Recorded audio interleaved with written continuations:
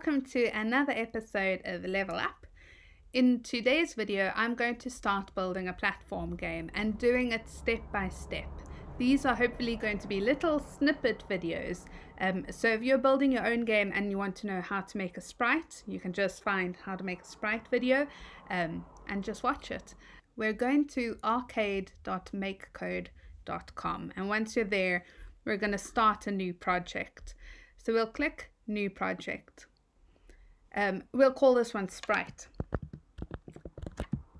There we go. Oops, create. Once the project opens, you can see you've got uh, your simulator on the left hand side of your screen, um, your blocks down the center, and then your workspace is on the right hand side. We won't worry just yet about um, creating a background or anything, we'll just focus on creating a sprite. To do this, we'll come to the sprites block and we'll drag out set my sprite and pop it into on. Our sprite is going to be the hero of our game. So we'll change the name of our sprite to hero. Perfect. Um, and this is the of a kind player. We don't see our sprite appearing because we've not chosen an image for our sprite yet. So if you click in that little grey block, it'll give you the option to either draw your own sprite or to choose one from the gallery up here. I am terrible at art, so I will not be drawing my own sprite. Um, I'll just be choosing a pre-made sprite from the gallery. What should we choose? In our recent webinar, we chose a monkey and then um, had to change that to the duck, so we won't do a duck again. Aha! We will do a princess. There's our sprite. It's a princess. And there in our simulator, we can see our princess has appeared. So what we want to do now is we want to be able to move our princess. And we'll do this by coming to the controller block and selecting move my sprite with buttons. Pop that under set hero. So this little symbol that has appeared over here, that means there's a bug in your code. And that shows you where you need to fix something. So the problem here is we've chosen to move my sprite with buttons, but we don't currently have a variable called my sprite anymore. We've called our variable hero. So if we click the down arrow, we can change that to hero.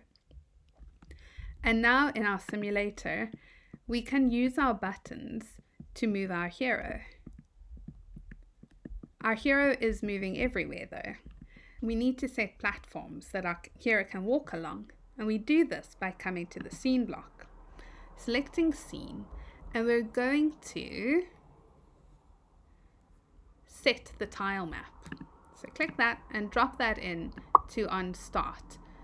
The tile map is like the background of your game. So this is our tile map. And what we'll do is we'll just pop in a few platforms for our hero to walk on. Oh no, let's go a bit more jazzy. So you see you can choose from different themes. So we've got the forest theme, aquatic, dungeon, miscellaneous. Um, and you can click through those and find sort of interesting blocks. So I'm going to choose this pink one. Um, and then we'll just draw these platforms. If you just click and hold, you can have a line of platforms. So we'll pop in a few platforms, um, give our sprite something to walk on, like that. Let's see what this looks like. Right, so there are our platforms. But if we click in our simulator, our sprite moves right through these. And what we need to do is we need to turn those platforms into walls. We do this by clicking back into your tile map and selecting this option over here. So this is going to um, turn those platforms into walls and our sprite is not going to be able to pass through them. Select all of your walls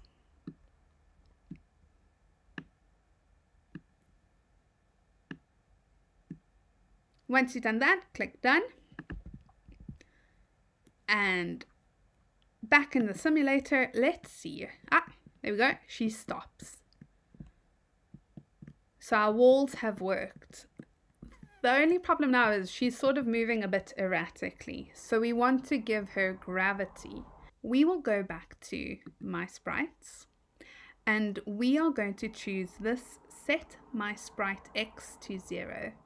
So let's take that out and drop it over there. A little bug icon, so that reminds us to change it to hero. And then we want to choose the AY acceleration Y.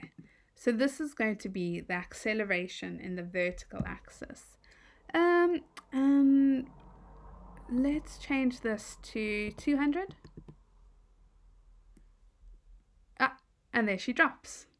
So now we can see she can still move up if we push the up arrow. Um,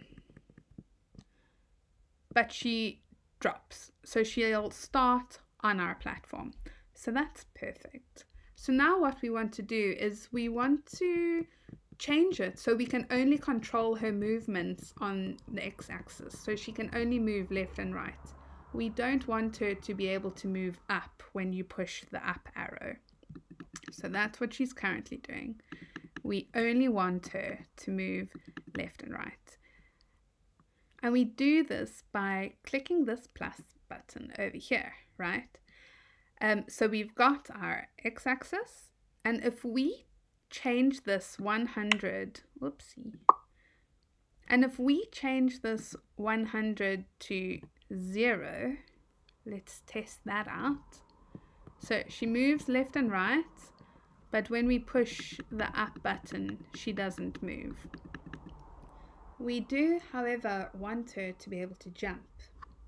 And we'll do this by coming back to the controller button and choosing an on A button pressed. And we'll pop this underneath. We have our on A button pressed. And what we want to do now is change our sprite's velocity. Remember that the top left hand corner is zero. So anything moving away from it needs to be a positive number. That's why we've got our acceleration to 200. So we need to make it a negative number if we want to, to be moving towards the zero. We'll go back to sprites. Select to set my sprite. Oh, bug. Change that to hero. And we'll change this to Vy velocity. So we're choosing velocity now instead of acceleration because we want it to happen quickly. And let's change this to negative 100. Let's see what happens. Let's test it. Hmm. So our sprite is jumping, but she's not jumping as quickly as I would like her to jump. So you can play around with the numbers until you get a speed you're happy with. Let's try one. 50. Whoops. Yeah, that's a bit better. I'm not liking now high, how high she's jumping. So what I want to do is I want to increase the gravity on her and I'll do that by increasing this number. Let's try 300.